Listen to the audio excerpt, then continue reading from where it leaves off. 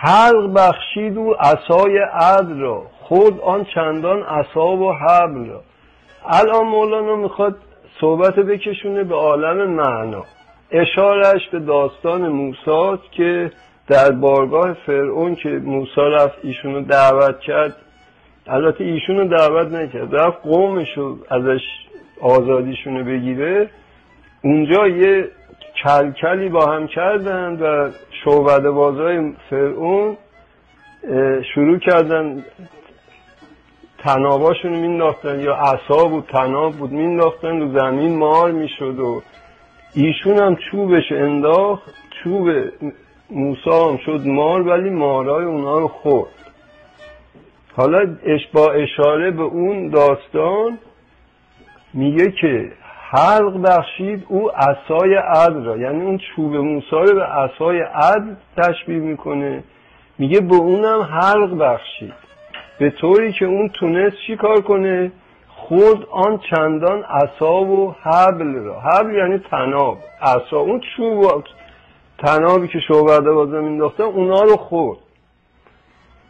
وندرو افسون نشد زان جمله اکل.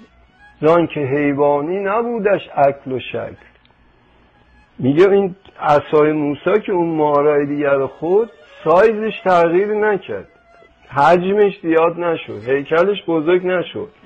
چرا؟ برای اینکه نوع خوراکش نوع حیوانی نبود مادی نبود. در اصل این داستان سیمبولیک بود. یعنی داستان موسا یه داستان سیمبولیکه. در اصل این اندیشه هاشون اونجا ریختن وسط و اندیشه موسا مال اونو اندیشه اون متفکران فرعون رو بلعید. میگه که اون بلعیدن اون مارها چون فیزیک نبوده مادی نبوده هیچ اتفاقی هم نیفته که سایزش بزرگ شه مریقین را چون عصا هم خلق داد تا بخورد او هر خیالی را که زاد حالا میگه در شما هم وقتی یقین پیدا میشه تمام خیالات شما رو می‌خوره. اون یقین. یعنی یقین بهش حلق داده که خیالات شما رو بخوره. مثال بزنم. شما فرض کنید که بچهتون رفته از خونه بیرون دیر کرده. شما فکرتون صد جا میره. خیال هزار جور خیال به سرتون می‌زنه. الان رفت اونجا الان افتاد. چی شد؟ کجا رفت؟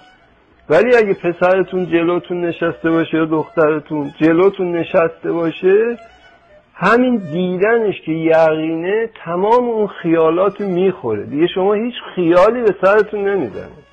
مثل اینکه این یقین دهن داره حلق داره و اون خیالات خورده.